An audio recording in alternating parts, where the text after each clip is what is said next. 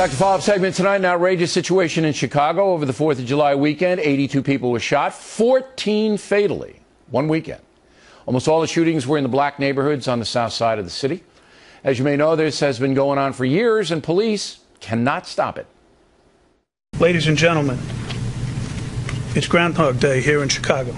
Until such time as something happens to the individuals who carry these firearms, you know, everybody asks me what's different about New York and Chicago.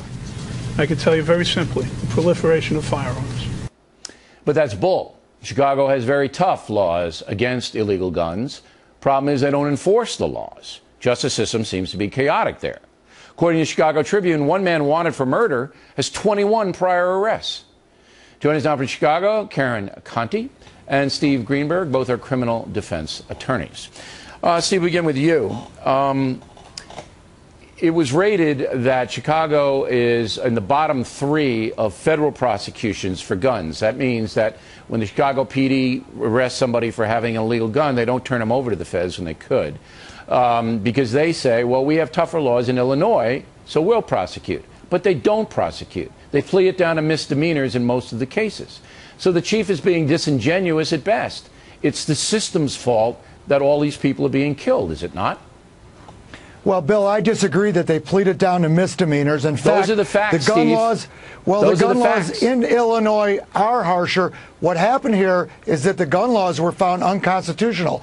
These people have a right to carry arms, and so the problem is not with the gun laws. The problem is not with the punishment. The problem is more academic and epidemic in that what are you going to do with these people when guns are rampant in a neighborhood? If you, if you a have to carry policeman arrests or the somebody other with an illegal get you. gun, Steve, you know, you're disagreeing with the facts. I mean, that gets us nowhere. If a Chicago police officer arrests somebody with an illegal gun, doesn't matter what the courts have ruled, it's an illegal gun.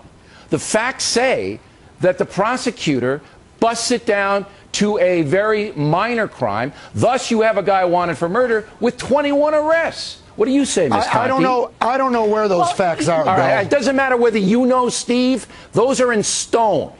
Go ahead, Miss Conti. Here's what happens. Here's what happens. The cops arrest. They charge with 10 or 9 counts of whatever it is. The prosecutors get it, and it's too much paperwork. It's too many man hours. The courts are, are, are crowded. The docket's crazy. The prisons are overflowing.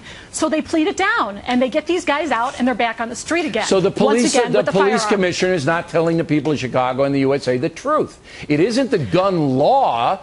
It isn't that. It's just that the system is overwhelmed, according to you, and they can't get the bad guys off the streets, or they won't get them off.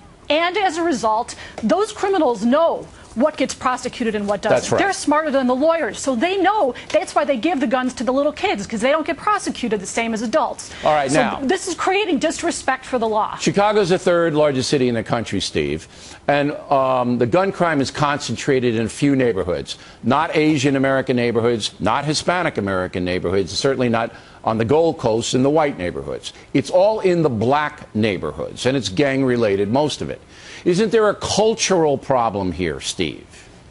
There, there is, Bill, and in fact, they said a lot of the shootings this past weekend were not necessarily gang related. It is a question of survival for these people because so many people have guns. You're either going to shoot at somebody or be shot at. That's the mentality. Then if- and what if they have to do is not lock Steve, these people up. If Yeah. that's true, shouldn't they have a stop and frisk policy, which they had in New York, but they don't have it here uh, any longer? And since they stopped stop and frisk in New York, shootings have risen 8%, and that's just in a few weeks.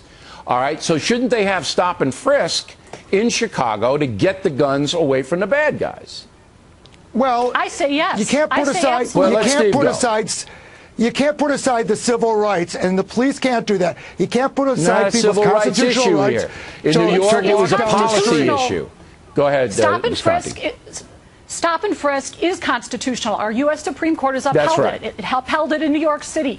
If a cop has reasonable suspicion that that person committed a crime or was involved, he can pat him down and he can find And that's out all whether he we're talking about here. We're But he talking can do about that a policy. Now. He can do that now.